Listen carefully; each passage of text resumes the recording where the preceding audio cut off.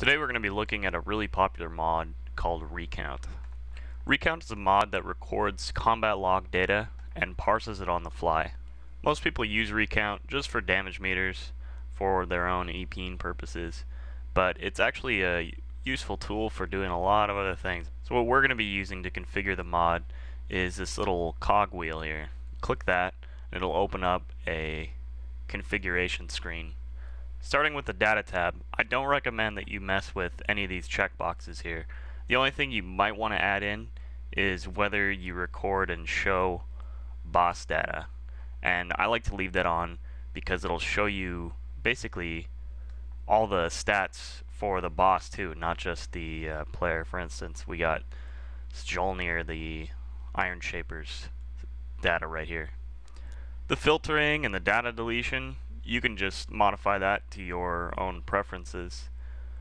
For instance, if you don't want it parsing when you're solo, you just check that off. Data deletion, I would just keep all this stuff checked as well, because basically it's just asking you whether you want it to prompt you to uh, auto-delete the data.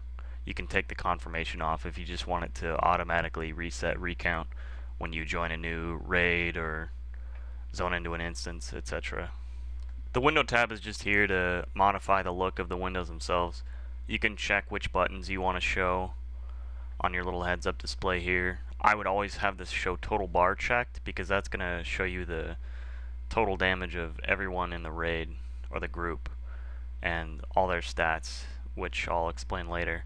The scroll bar, auto hide on combat, you can show or not show those. It's just your own personal preferences appearance, you're going to spend probably quite a bit of time here just making it look good and using some of your own preferences. So I won't get into this. Now for color, you guys might notice that I don't have a uh, I have a transparent background and to do that you just go into window color selection and increase or decrease the alpha here. So for me I want it to sit flush on top of my KG panel on the bottom and not have a background, so I disabled the background on that. So looking at our heads up display here, you can see whenever the window's unlocked, you have these little sliders that allow you to resize it. You see at the top it displays the current meter which you can right click and change and then it gives the report function, the config window with the cog. This little page allows you to switch fights so if you need to go back and look at a fight from two fights back you can click on that and then the clear. So let's get into the nuts and bolts of the data itself. This is where a lot of people go wrong when, when using this mod. The first thing I see is this giant light blue bar that tells me that I did a lot of damage, but it doesn't really tell me how I did that damage. So by mousing over it, you can see the breakdown of the top three for everything. Which target I attacked, which spells I used, and so forth. Now if I click on this, it brings up the detail window, and the detail window will tell you even more. For even more detail, you can click on the magnifying glass which brings you to the summary report. And this is basically a breakdown of all your outgoing and incoming damage. So if you look here, looking at the column where it says misses and there are zero misses, which is a good thing, that means I've got enough hit rating. If you see any misses down here, you know that you need to uh, increase your hit rating or maybe add a Shadow Priest or Boomkin to the raid for the hit buff. I want to dispel right here now a very common mistake that a lot of DPS are doing by linking the DPS meter. Now the way Recount works is it collects all of the data that comes into the combat log and it does record the timestamps but it's not an actual real-time parser. In other words, it doesn't record time. It just records the fact that the events happen. So when it calculates DPS, it's only looking at the active time that you're DPSing. So what that means is I could just sit there spamming Arcane Blast until I ran out of mana and used all my cooldowns. I could sit there the rest of the fight, and when my mana came back, I could spam Arcane Blast again. And I, even though I'd be really low on the damage done, I'd have a lot of DPS, which is bad. So if someone links the DPS charts, do me a favor, send them to my video, refer them, and we can put a stop to this madness. Let's take a look at some of the finer uses of recount other than just meter jockeying. So if we right click on damage done it gives us a full list of all the metrics that it has. So if you're a healer you might be looking at healing done or damage taken is a truly useful tool.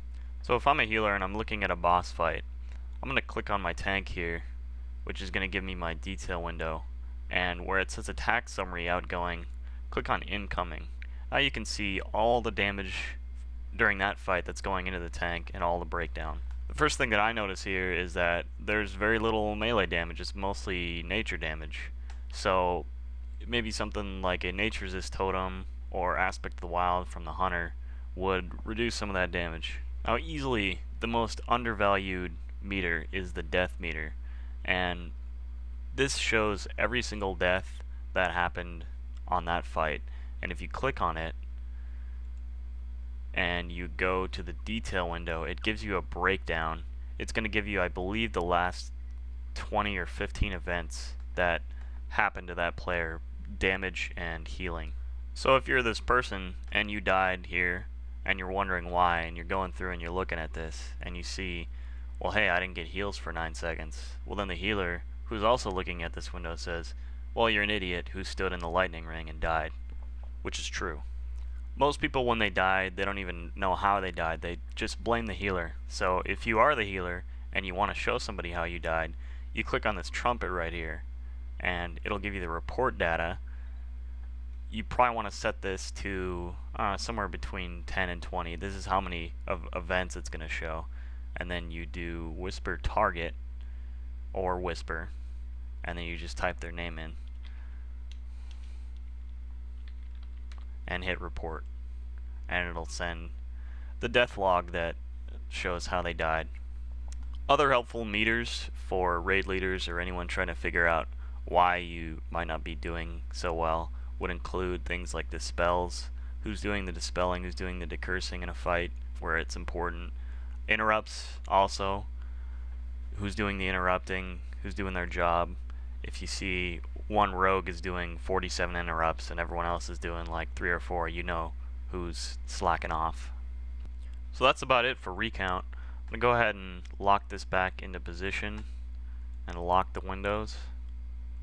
If you are interested in more advanced combat logging, what you're going to want to do is get a mod called Loggerhead and upload your combat logs to various parsing sites and that's something I'm going to cover in a future video. But for all cursory information and use, Recount is a very valuable mod.